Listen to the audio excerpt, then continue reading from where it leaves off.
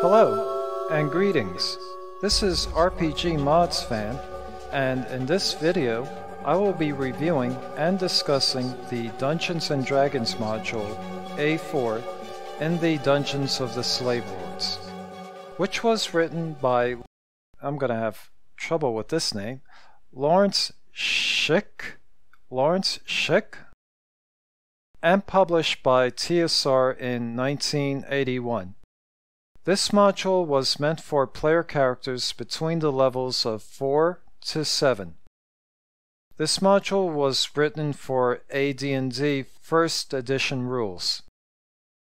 Also, it was written before there were a lot of ability rolls and checks, which were incorporated into the 5th edition rules.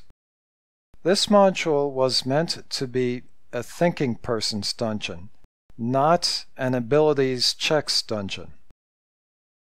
So, as a dungeon master, I would not outright forbade ability checks, but rather make judgment calls on when to allow them and when not to. This adventure takes place in the fantasy world of Greyhawk within the Orcish kingdom of Pomarj within the Drachensgrab Mountains.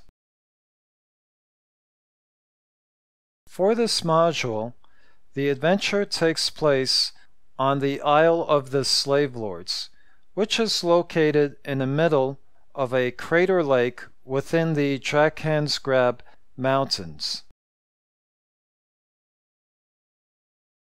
As FYI, the mountain on the Isle of the Slave Lords is called Mount Flammenblut.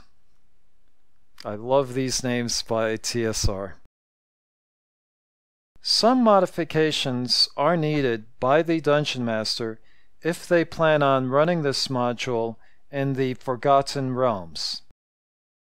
I will suggest three possible locations as I have before my previous videos, all of which lie on the eastern side of the Sea of Fallen Stars.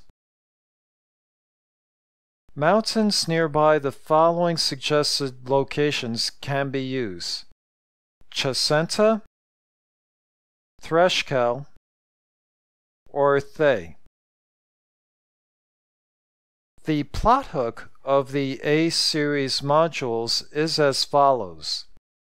Organized bands of pirates and slavers have been raiding the coastal towns on the Sea of Gearnat and taking captives into slavery.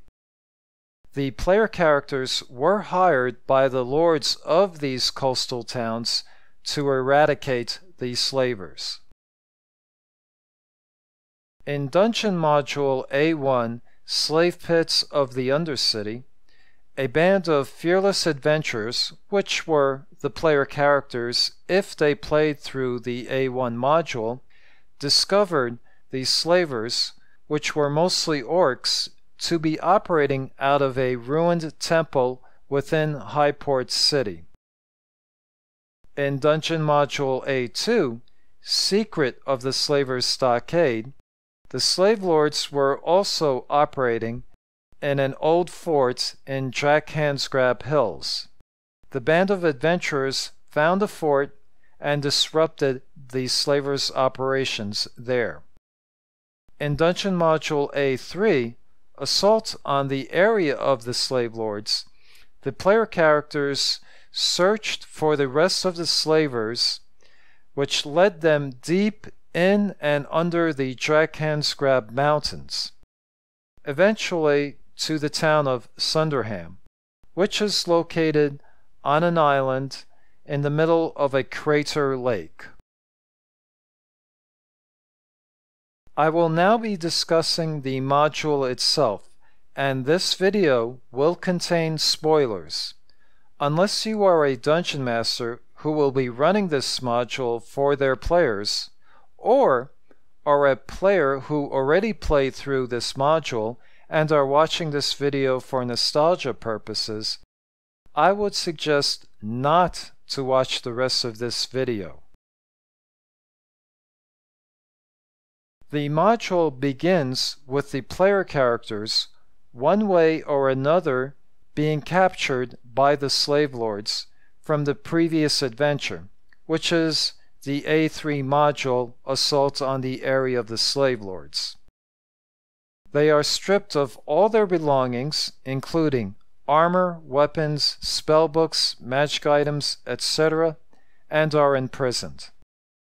The jailers give special treatment to the spellcasters, such as clerics and mages, to ensure that they do not get enough rest to regain their spells. The nearly naked player characters are put to sleep and then lowered into the dungeons of the slave lords.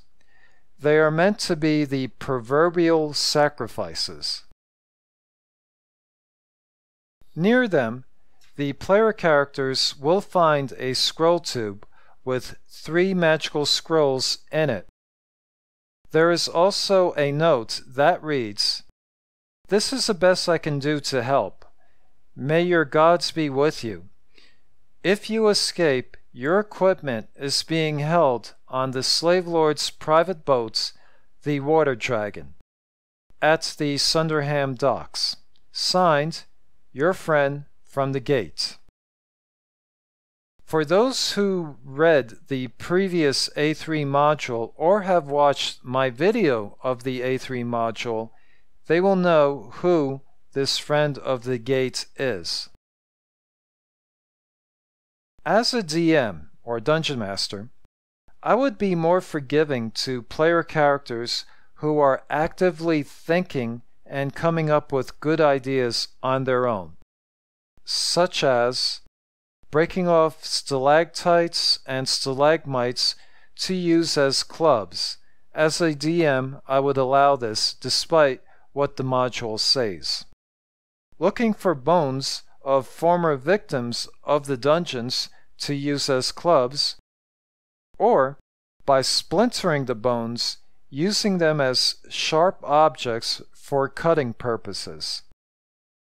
Tearing strips of their loincloth to be fashioned into slings, fashioning stuff from the giant mushrooms in the mushroom chamber.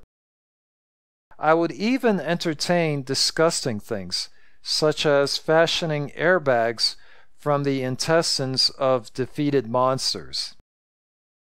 As a DM, I would not limit what the player characters can do just because it is not covered in the module.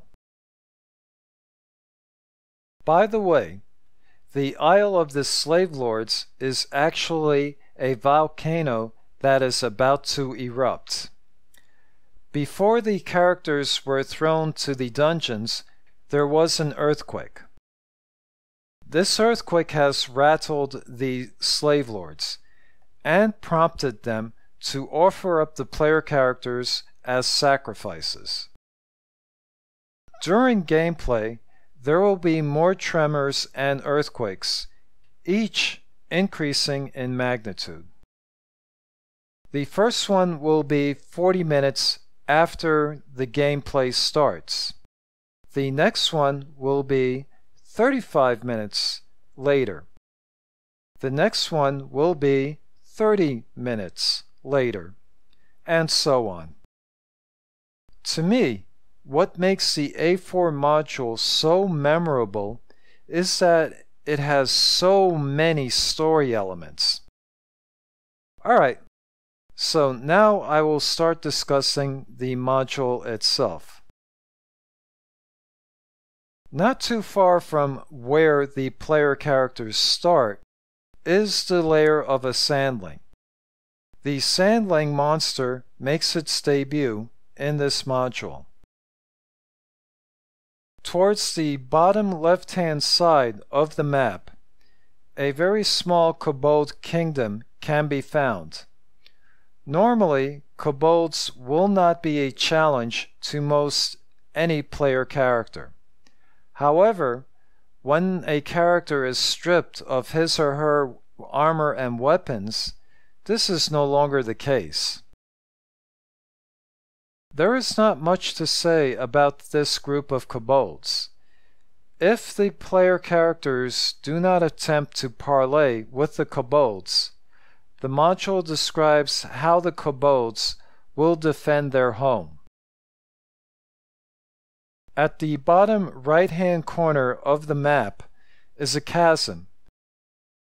At the other side of the chasm is a giant ant's lair. There is a slim bridge across the center of the chasm, made of dried dead giant ant bodies. This bridge is relatively lightweight and can be carried by two strong members of the party. Otherwise, fighting the ants and trying to find an exit here will be unwise for the player characters to pursue. A damp chamber with a green glow lies not too far from where the player characters start. Clustered in the center of this chamber are a shrieker, a violet fungus, and glow fungi, which thinking player characters can use as a light source after defeating both the shrieker and the violet fungus. A large pool of water lies in cavern number 12. Those who stay at the lower side of the cavern will not be attacked by a giant old crayfish who makes its home at the upper side of the cavern. In the cavern tunnel labeled number 14, there is a grumpy, beastly badger living on a diet of shellfish that it gets from the aforementioned cavern filled with a large pool of water. Cavern number 15 is filled with strange and colorful molds and fungi, including mushrooms. Some of the mushrooms are 9 feet tall, with thick log-like trunks. Also in the chamber are three fire beetles. When ingesting a mushroom, there is a 10% chance the mushroom will cause hallucinatory insanity. I believe the back cover of the A4 module depicts such an episode of a player character undergoing an insane hallucination. As far as I can tell, there are no vampires in the A4 module. At the upper left-hand corner of the map is the abode of the myconids. Myconids are also known as fungus men, and myconids are basically walking humanoid toadstools. They are new creatures that were first introduced into the D&D world through this module. At the entrance to the abode of the Myconids are two seven-foot-tall shriekers. They will of course start shrieking as soon as they sense any intruders. Within two rounds, the abode's guards will show up to defend the entrance. The Myconids are ruled by a king who is the largest of them and resides in the cavern numbered 16E. It is also here where the king holds council. After defeating the abode's entrance guards, the encounters in the rest of the abode can go one of two ways. Either peacefully, where the player characters establish diplomatic relationships with the Myconids, or violently. almost all the art depicts hostile relationships between the myconids and the player characters. Chamber number 17 is described as a cavern filled with stalactites and stalagmites. However, one of the stalagmites is actually a half-grown roper. This is one of the more popular encounters of the module.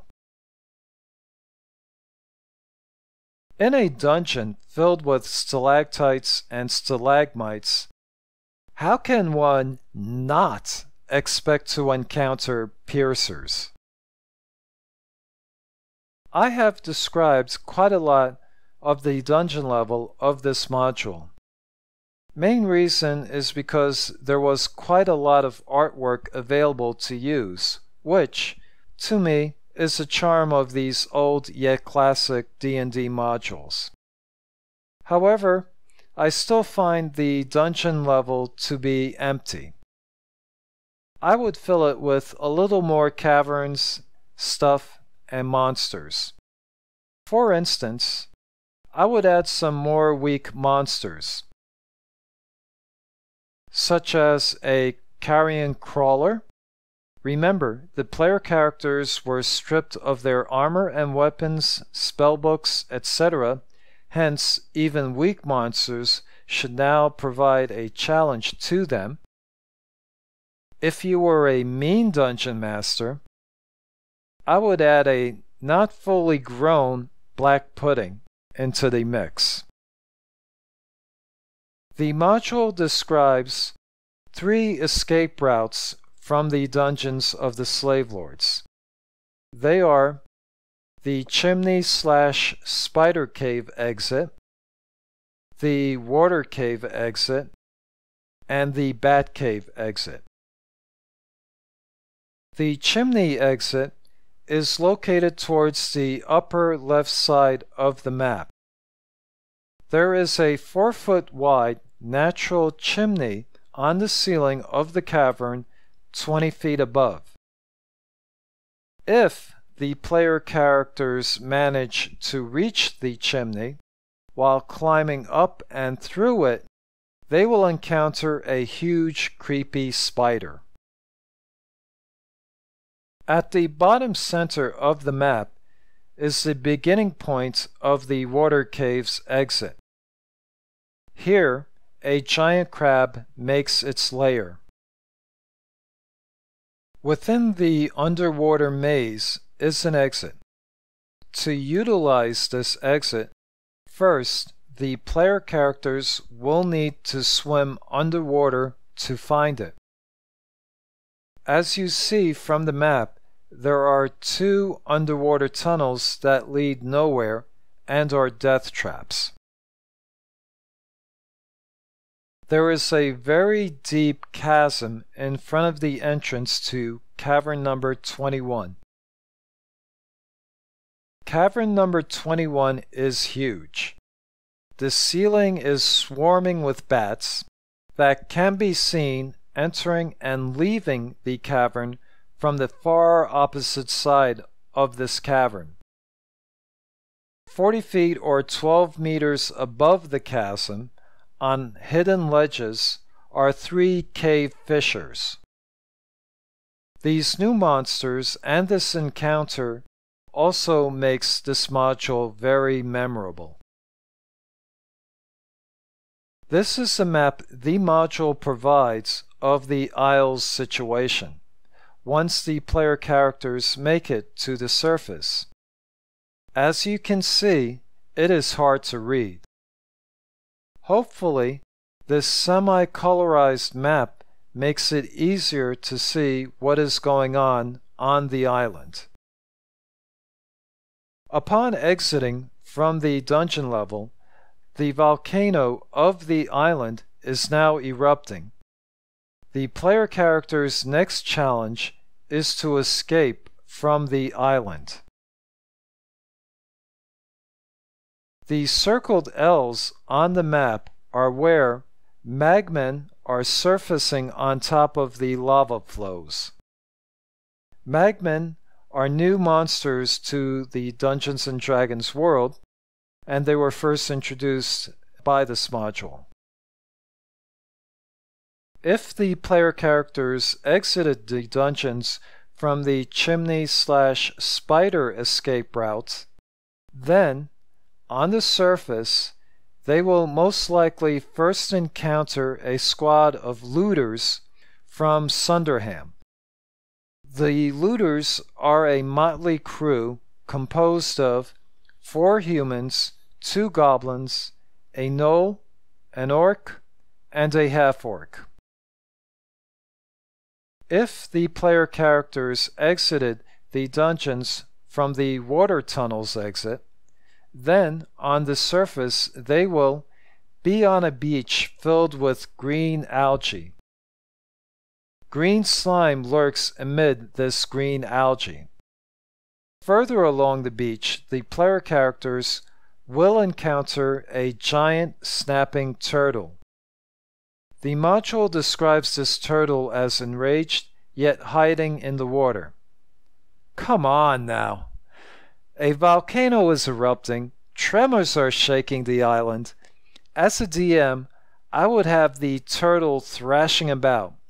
Maybe the turtle is desperately trying to reach the water so that it can swim away from the island. That, to me, makes more sense than it hiding in the water. If the player characters exited the dungeons from the Batcave escape route, then on the surface they will most likely first encounter a frenzied and burnt fire lizard. Thinking its natural fire resistance is more than adequate, the fire lizard tried to take a bath in the lava that is flowing over the island.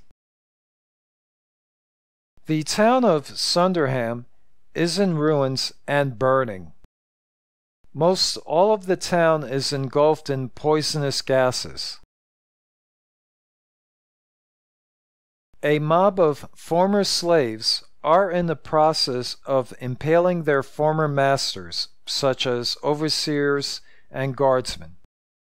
As the party progresses towards the docks, just as Sunderham is burning, likewise the slums in the outskirts are also burning. People from both Sunderham and the slums are crowding the docks and are in panic. Amongst this chaos, the party will meet the agent of the coastal town lords. The same town lords who initially hired the party to eradicate the slave lords. The same agent who initially met the party at the entrance gate of Sunderham in Module A3. The same agent who provided the three magical scrolls to the party at the very beginning of this module. However, he is dressed as a slave lord's lieutenant. So, if your player characters are the shoot first, ask questions later type, then this encounter can go badly. By the way, this agent's name is Salzan Murtano. He, like the player characters, seeks to escape the island and get away as far as possible from the erupting volcano. He suggests to assault the slave lord's ship called the Water Dragon that is still moored at the far end of the docks. Of course, the player characters are free to seek out other means of escape from the island such as crafting a makeshift wooden raft. However, they will face the danger of marine ghouls known as lacedons that lurks in the waters. Or steal a fishing boat from the poor souls who are overcrowding on it and trying to escape the island Normally, I would be first discussing the villains of a module. However, in the A4 module, it is not the villains who are driving forward the plot, but it is the erupting volcano. The slave lord's galley, the water dragon, is moored at the far end of a pier and is being readied for departure. A mob of islanders stand halfway up the pier. Right now, they are too frightened to face the slave lords and their minions. However, the situation can easily escalate given the desperate situation everyone is in. To get to the water dragon, everyone will need to fight through 11 of the slave lord's minions, one of which is an ogre.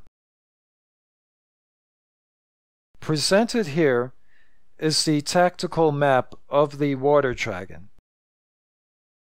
Shown are the positions of where the six remaining slave lords will make their last stand. However, before I will discuss these six remaining slave lords, I will need to take a detour and discuss about the five slave lords that were in the previous module A3 Assault on the Aerie of the Slave Lords. What happened to the villains of the A3 module, Aerie of the Slave Lords? There were different authors for the A3 and A4 modules, and it seems they never communicated with each other. The A4 module presents a set of six new slave lords. The A4 module conveniently writes that the slave lords of the A3 module died due to a combination of the following 1. Earthquakes, 2. Asphyxiation from the volcanic gases released in Sunderham, and 3. Battling slaves and fellow islanders to get to the water dragon. For player characters, this is very unsatisfying. They all have an axe to grind with the slave lords of the A3 module. They all probably seek vengeance on these particular villains. As a dungeon master, this is what I would do. Have a total of two or three slave lords perish from both modules have the party battle a total of six slave lords for the water dragon. The slave lords would be a mix from both the A3 and A4 modules. The remaining slave lords, I would say, escaped on a previous boat, which the player characters can pursue in a future adventure. Okay, now I'm ready to mention the villains of the A4 module. The slave lords are at much higher levels than the player characters. However, due to battling their way to the Water Dragon Galley, their hit points have been reduced and many of their spells have been expended giving the player characters a fighting chance against them. As with most classic D&D modules from TSR, not much information is provided on the villains' personalities or characters. Stalman Klim is a human 11th level cleric. He is the high priest of the Earth Dragon cult. Lamensten? Lamensten? Really? Okay, from now on I'm calling him Lemonstan. Lemonstan is a human 8th level illusionist. Ed Ralph sounds like a guy's name, not all right.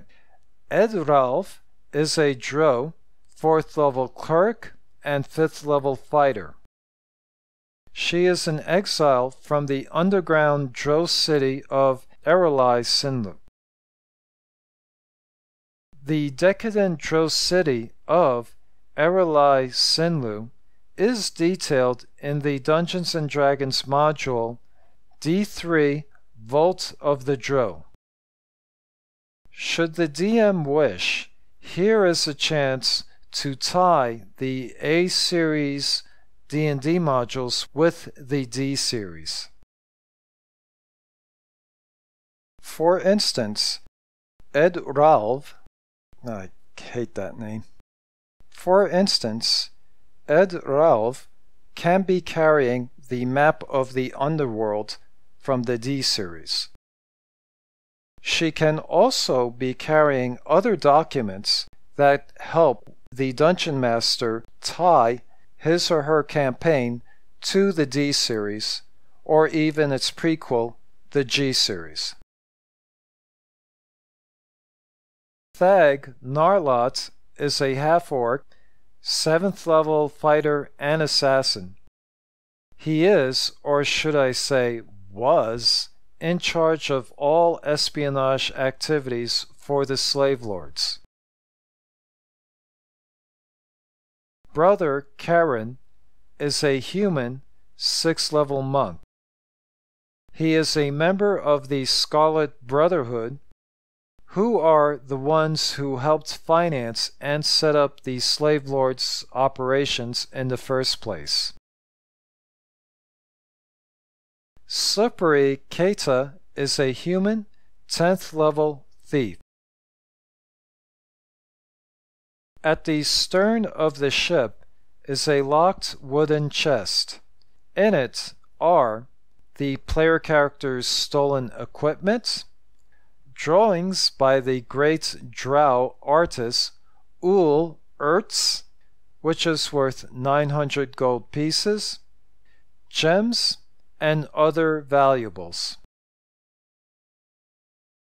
Given that the player characters were not the only ones hired by the lords of the coastal towns, as a bonus, I, as a DM, would add equipment from these adventurers as well.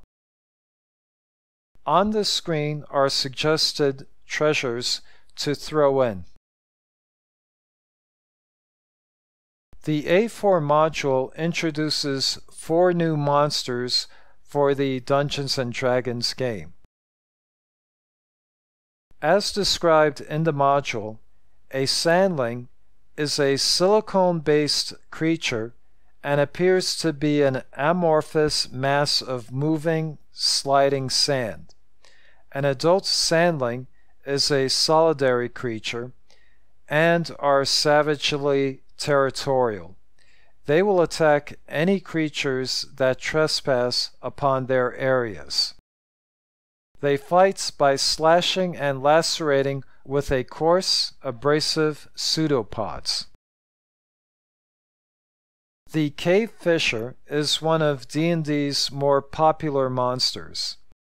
As described in the module, cave fishers are hard-shelled, many-legged creatures that live by trapping animals with their super strong, highly adhesive filaments, which shoots and extends out of their proboscis. If you are wondering, a proboscis is a long, flexible snout, such as an elephant's trunk, or a slender tubular sucking organ of certain insects.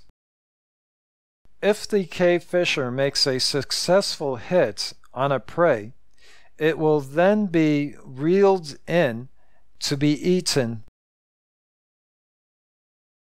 Myconids are basically walking toadstools and mushrooms. The module gives a lot of details on their characteristics and society. Magmen are dwellers from the para-elemental plane of heat, which lies between the elemental planes of fire and earth. And so ends the A-Series D&D modules, also known as the Slave Lords modules. Or does it? Dun dun dun! Dungeon Magazine number 215 contains the adventure titled The Last Slave Lord. In it, Stalman Klim is supposed to be the villain.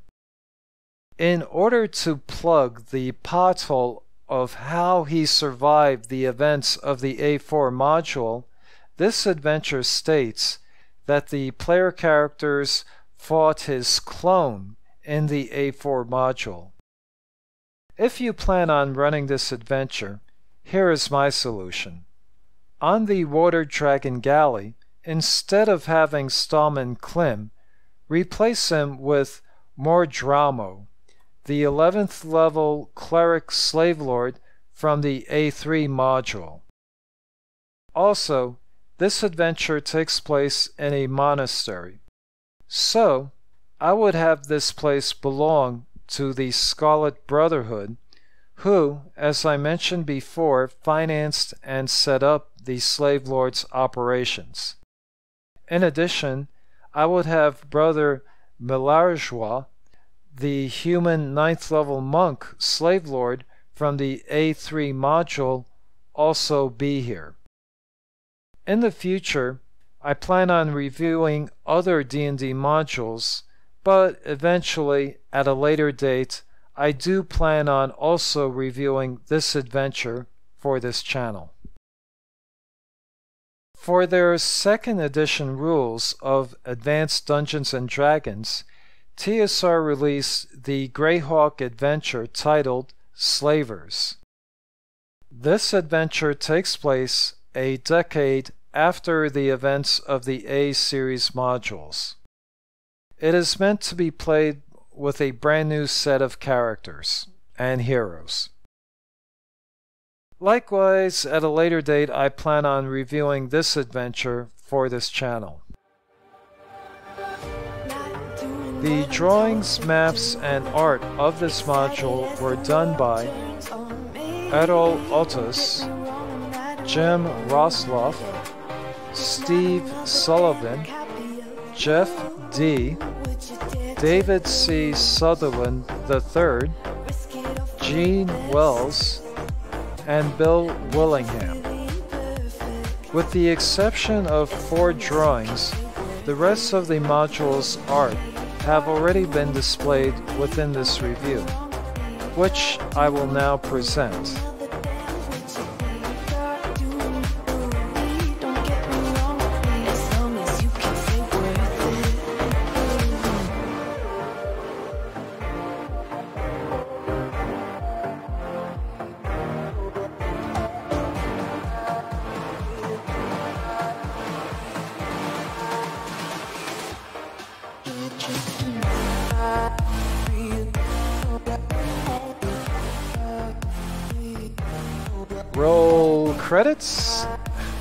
Displayed are the credits found within the module itself.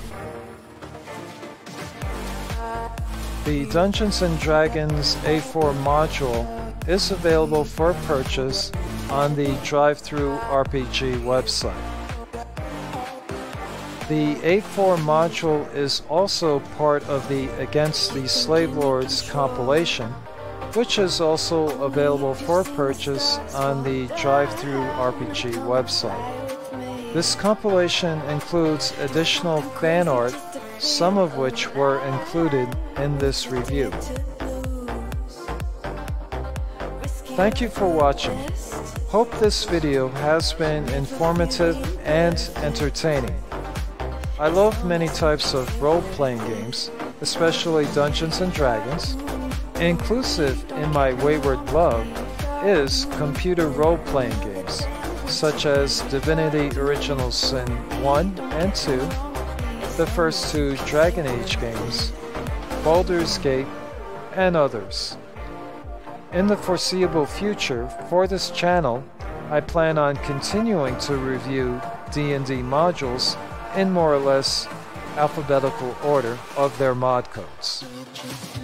Until next time, this is RPG Mods fan saying cheers, have a good day, and goodbye.